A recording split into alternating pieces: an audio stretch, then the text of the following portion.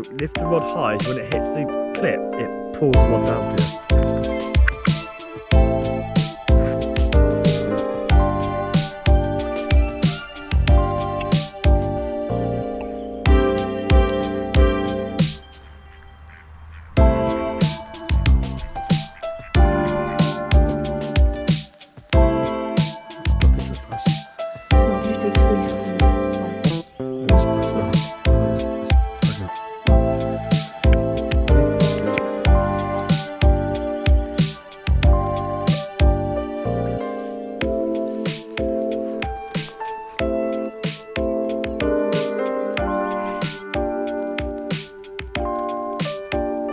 Dot, is that right?